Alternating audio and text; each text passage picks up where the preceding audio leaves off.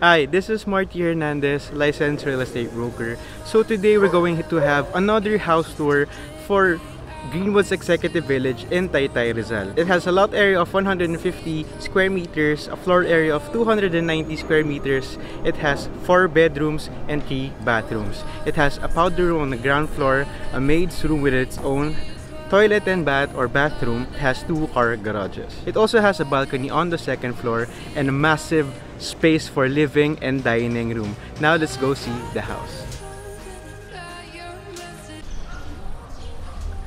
On the left side, may makita kayo dito sliding door papunta sa living room. And you'll also notice yung tiles na merong greeneries design And sa right, pagkapasok sa main door for the pedestrian, nandito yung, of course, yung two-car garage. It is, malaki yung kasyong kotse dito, mga SUVs. Hindi siya masikip na masikip. And sa left side, nandito yung main door. But before, before we go inside sa main door, tingnan natin yung sa likod, yung sa maid's room. So, meron kang setback dito sa gilid. And mananotice nyo yung design dito. Parang bamboo design. It's very clean. Maaliwalas tignan. And sa likod, andun din yung way papunta sa kitchen. Pero, tignan muna natin yung maid's room. Yung maid's room, medyo hindi lang tapos yung bathroom niya. Pero malaki yung maid's room compared to other houses here in Greenwoods Executive Village. And maganda yung layout niya. Yan, hindi lang tapos yung maid's room. Yung bathroom. Pero ito siya. Mas malaki siya compared to other maid's room sa ibang houses dito. Now let's go inside sa main door. Another view of the two-car garage here. And yung gate niya, which is made of from steel. Now let's go inside. So this is the main door. Wooden door. And maganda yung materials na ginamit dito sa main door. So what I really like this house is yung ground floor. And manonotice nyo yung sobrang laki ng space dito. It's very massive. Hindi kayo magkakaproblema o sa pag-layout ng bahay. Kasi marami kang pwedeng uh, choices. So another room.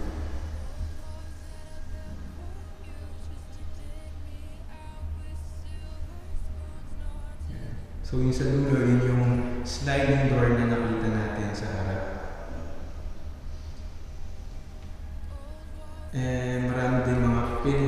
May ceiling sa taas. And meron din mga windows pero it's not that much. Hindi masyadong maraming windows. Kasi yung left side is nakadikit na sa isang house. And here you have is the kitchen. So paikot yung design ng kitchen and the materials are made from granite. You this is pure granite, hindi siya synthetic. And sa taas marami kang mga cabinets and drawers.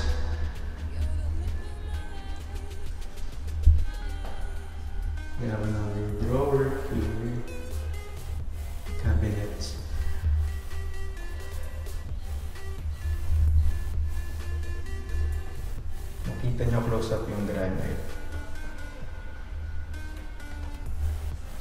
This is the sink, so dual sink na siya. For now, wala pa yung faucet. May mga konting finishing lang sa houses.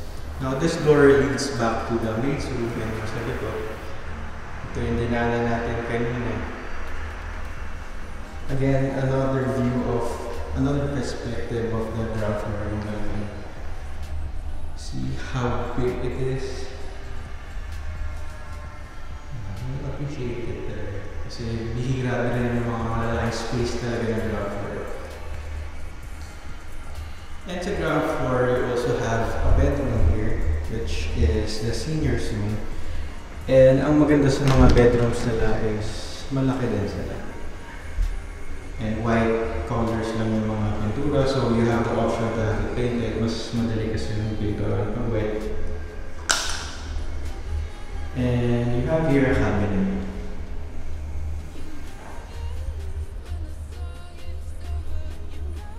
And here is, so sa bed, ground floor bedroom, may ng two car, two car garage mo.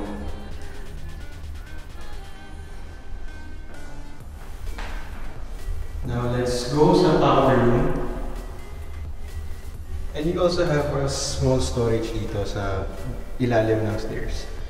What I don't like personally is the powder room.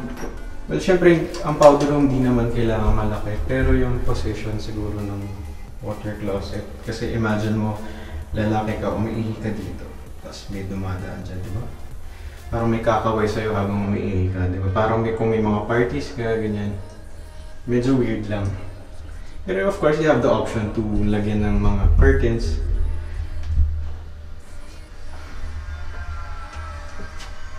And sana sa kabilang side na lang yung water closet para mas malaking space.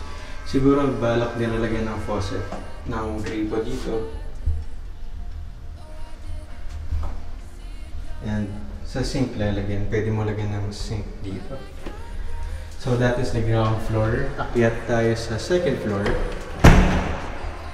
Sa second floor, you have three bedrooms and each bedroom na siya sariling bathroom.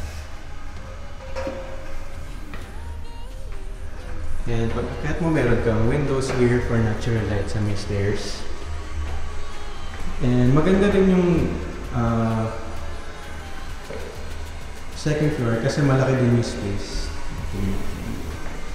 So, ito yung layout. So, sa right side, meron kang dalawang bedrooms. And sa left side niya, dito yung master bedroom. And further left, meron kang malaking space for another receiving area or eh, family room. So, diyan kayo mag-manood ng movies and all. And, pag diniretso nyo, nandito yung balcony. Now, let's take a look sa balcony quickly.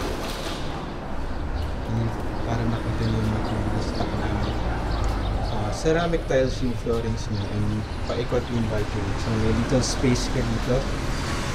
And more space dito. Yung mga windows na to, ito yung sa master bedroom. And let's take a quick look sa surroundings ng subdivision. Maganda sa greenhouse kasi magaganda yung mga bahay. Kaya pag papunta ka, nandito ka ng alawalis tignan. Ang mababait yung mga tao and hindi binabaha. Contrary to other comments sa previous, previous videos ko, hindi binabaha sa windows. So another view of the second floor. So mapapansin nyo nga yung malaking space and yung and may magandang lighting din sa staircase. Sa staircase. Pulihin natin yung master bedroom. Tignan muna natin yung two bedrooms here. So again, yung two bedrooms, all bedrooms may sariling bathroom. So pag dito sa first bedroom, second floor, meron kang cabinets and drawers. And you have windows. And meron kang provision for window direct. Yung floorings na ginamit ay 60 by 60 ceramic tiles.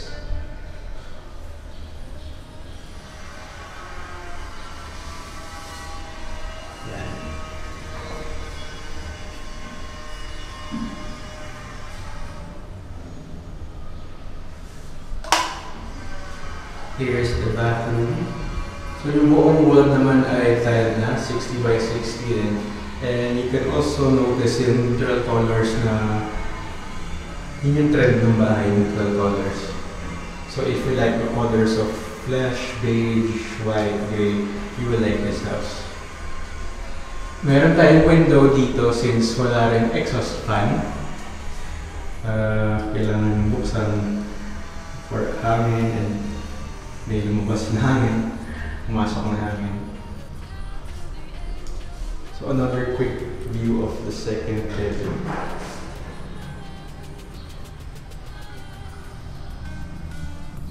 Now let's go to the next bedroom.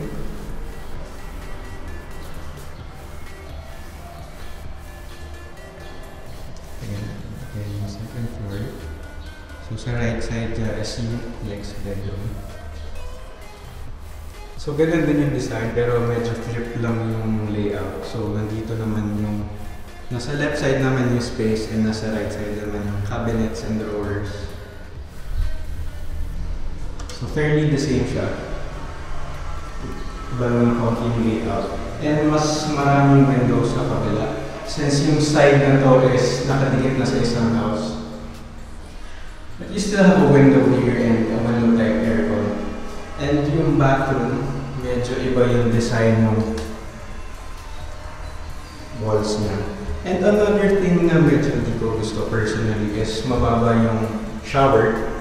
Well, when you buy this house, pwede niya naman ilipat. Pero, diba, dagdag cost. So, medyo mababa siya. Ako, med- maliit ako, 5'2 in height, and saktang-sakto lang ako dito sa shower. So, what more, so more or less, mas matanggap naman kayo sa akin.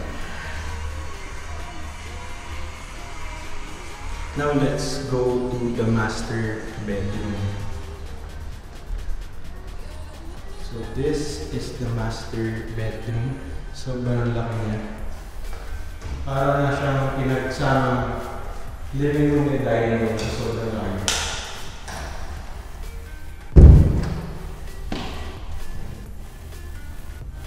Parang nagkonto ka na. Ganun kalaki yung master bedroom. And mas marami siyang cabinets compared dun sa dalawang bedrooms. Now, tignan natin from another view. Master bedroom. So, yan. And you also notice yung drop ceiling sa taas. And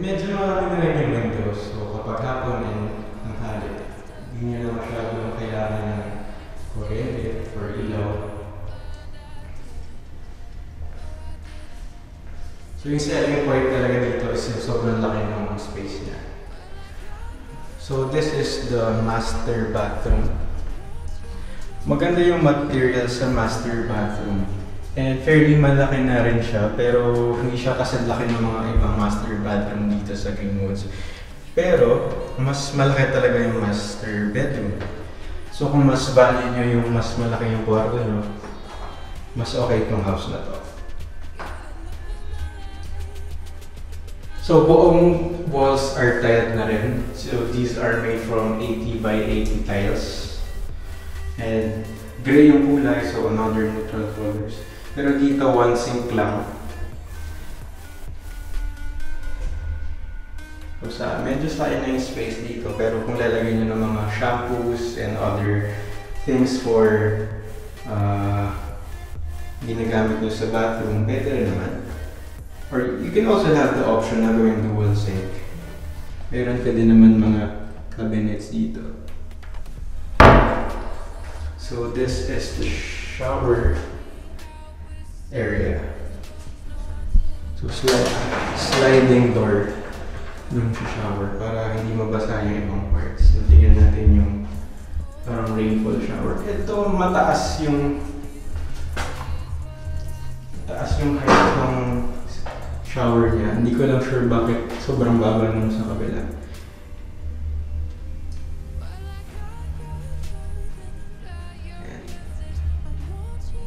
For inquiries, viewings, or if you want to market your property through us, just contact the numbers below. Also, please like and subscribe. This is Marty Hernandez, licensed real estate broker, looking for properties for you in Rizal and Pasig.